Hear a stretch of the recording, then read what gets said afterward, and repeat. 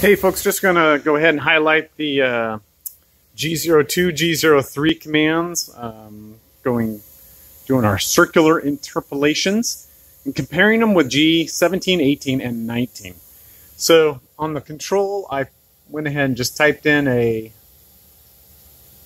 somewhere here, hopefully it remembers, there it is. So I typed in a quick little program in MDI, just having it go um, down to a certain height. I just put it to a Z of two inches. I didn't know how big these tools were going to be. I just wanted to make sure it was well above our G54 offset. So I just put two inches for our, our initial Z height. So then notice here on the very the first safety line how we have G17. So that's going to enact our XY plane uh, for circular interpolations.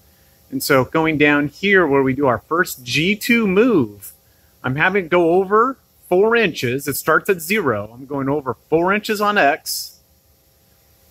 So that's a, half an arc, the radius of which is two inches in the positive X direction at a certain feed rate. And then I have it going back to zero, reflecting the, the distance to the center point is negative two inches on X.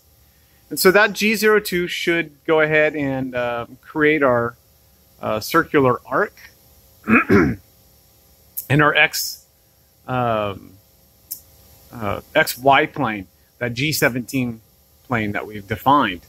But which way? Is this clockwise or counterclockwise? So typically you're looking down at your xy plane. So you're looking down negative z direction, and you interpret that as uh, clockwise G02 move.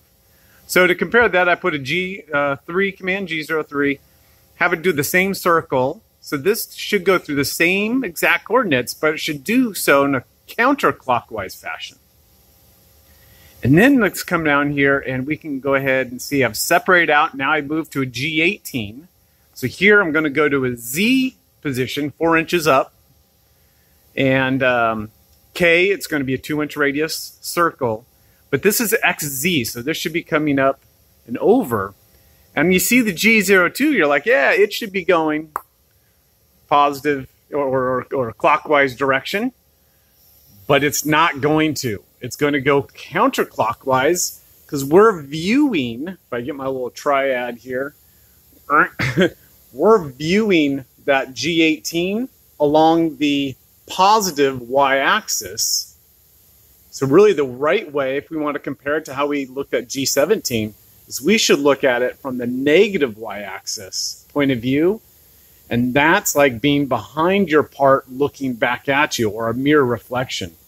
And so you're going to like, even though G2 is, should be a clockwise move, um, it's only going to look clockwise if you're looking into the negative y direction. So that would be from behind the machine looking at you this way.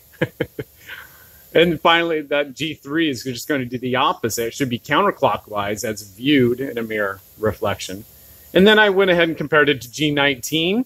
Again, if we're looking down the negative X, so if we're standing on the side of like this robot looking into the machine, then we would see uh, it trace out a clockwise circle, and then I have it doing a counterclockwise circle. Um, so let's have a go run through all these. Let me just hit rewind. Rewind on there. Um, yeah. All right. Here we go. Let's hit the cycle start button. Watch it go through its motions. tracing out, as viewed from the top, that's tracing out a clockwise circle. Now it's going to go G3, counterclockwise circle, as viewed from the top. Now you're going to see it start doing a G18 clockwise circle as viewed from behind.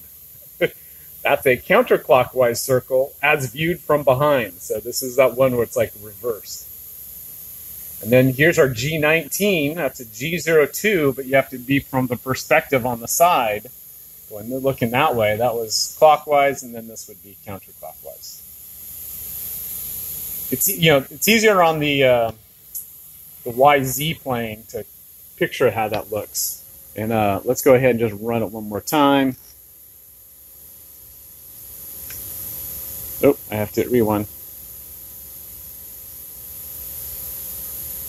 That should do it. So there G17, G02, now it's G03, clockwise, counterclockwise. There's our clockwise as viewed from behind, and our counterclockwise viewed from behind, that's G18. And our G19 plane, clockwise, and then counterclockwise if you're standing on the right looking down the negative x. All right. Clear as mud, right?